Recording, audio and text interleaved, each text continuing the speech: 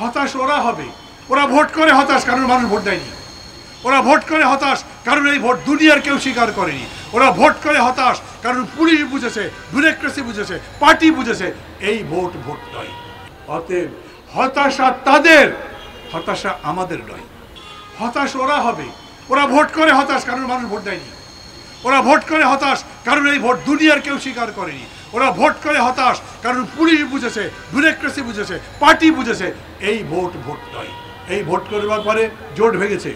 এই ভোট করে করবার পরে নিজের দলের মধ্যে আম জাম ডাব গাছ সব এক। যেটা নৌকা সেটাই ইয়েগোল সেটাই আবার ট্রাক দল আছে আর?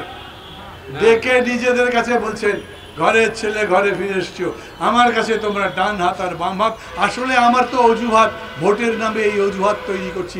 এটা কোনো সংসদ নয়। সংসদের বিরোধী দলের নেতা বলছেন, এই সংসদ কোনো কাজ করতে পারবে তা আমি বিশ্বাস করি না।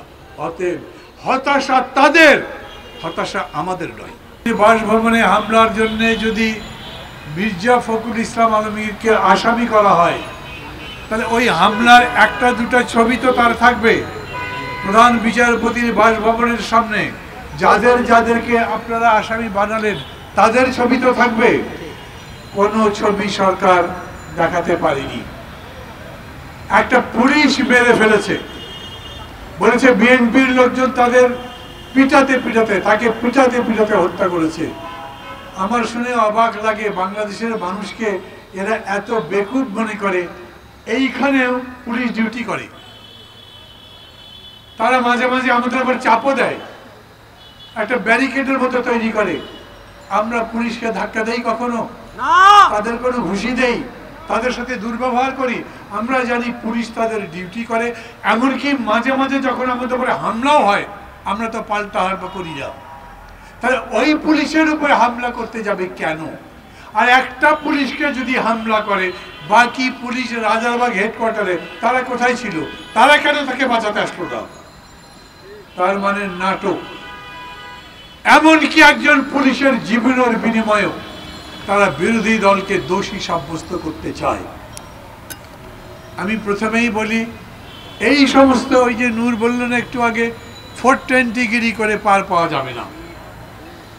এই কথাই ঘটনার পরে জাতিসংঘের পক্ষ থেকে বিবৃতি দেওয়া হয়েছে, আঠাশ তারিখের সমস্ত কিছুর জন্য দায়ী সরকারি দল। সরকার পক্ষ থেকে সরকারের জাতিসংঘের কাছে এবং জাতিসংঘের পক্ষ থেকে জাতিসংঘের কাছে আমেরিকার কাছে জানতে চেয়েছে, তোমরা এটা কীরকম করে বললে? ওরা বলেছেন, আমাদের স্যাটেলাইট ক্যামেরা আছে। আকাশের উপর থেকে বাংলাদেশের আনাচে কানাচের ছবি তুলতে পারি। এই ছবি আমাদের কাছে আছে। কথা বাড়াবে না, সেই ছবি তাহলে বাজারে যাবে। সরকার এখন সেটা নিয়ে কথা বলেনি। সরকার সবসময় এটা বলছে, আমাদের কিছু করার নাই, আইন যা করে তাই। আমরা তো কাউকে গ্রেপ্তার করিনি, অথচ আপনাদের মনে আছে কৃষিমন্ত্রী তখন যিনি ছিলেন, তিনি বললেন, আমরা যদি এই লোকগুলোকে গ্রেপ্তার না করি, তাহলে আমরা ক্ষমতায় থাকতে পারি। ওরা আমাদেরকে ক্ষমতায় থাকতে দিত, তার মানে সরকারের নির্দেশে তাদেরকে গ্রেপ্তার করা হয়েছে। বেগম জিয়ার চিকিৎসার ব্যাপারে যতবার আমরা দাবি করেছি, বিরোধী দল থেকে দাবি করা হয়েছে, বিএনপির পক্ষ থেকে দাবি করা হয়েছে, তারা বলেছে, আমাদের কিছু করার নেই। এটা আইন যা করবে তাই হবে। অথচ বেগম জিয়া জনগণের দাবির মুখে শেষ পর্যন্ত সরকার বাধ্য হয়েছেন তাকে কারাবাস থেকে মুক্তি দিয়ে তার নিজের বাসায় থাকার মতো। তার মানে সরকার পারে।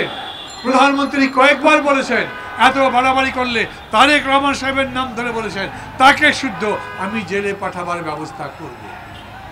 একবার ভেবে দেখেন, মাত্র দেড় মাসের মধ্যে বিশ থেকে পঁচিশ হাজার নেতা কর্মী একটা দলের গ্রেপ্তার।